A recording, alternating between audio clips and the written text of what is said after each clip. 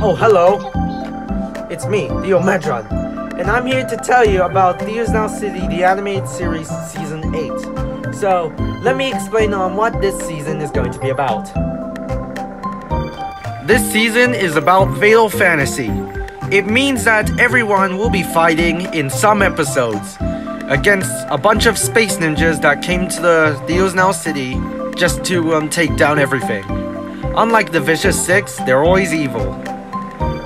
Along with that information, I'd like to tell you about the citizen changes so far. We may know that SMG4 is changing in WotF 2022, so is in Theosnow City. And the other thing is that a new citizen will be joining Theosnow City new to Season 8. This new citizen will be voiced by my sister, Thea Medron. And I, and I so can't wait to um, use her in my um, episodes so far. So please welcome to the stage, Magical Girl Mary Chan. Hi, I'm. I'm so happy I'm here today. It's great to be in Now City.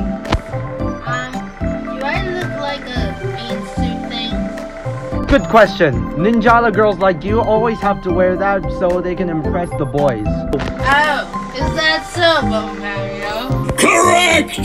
Yippee! I'm looking great now. Thanks, Marie Chan. Anyway, without further ado, let's press the start button to the trailer of Season 8.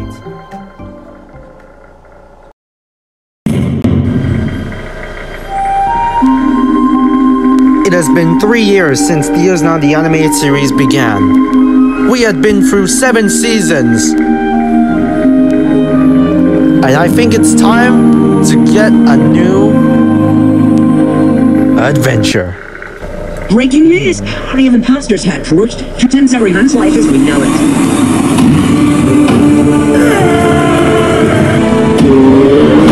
Listen up! This is the antidote! And you're going to take this? Run the giant creeper!